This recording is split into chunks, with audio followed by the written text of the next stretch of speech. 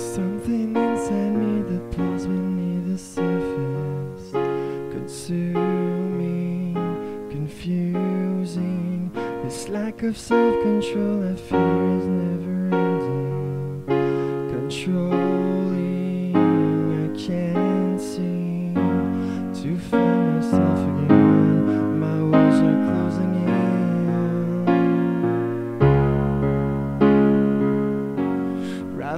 this way before. So insecure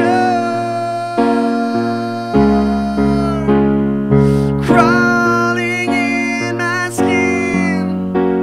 These words they will not heal.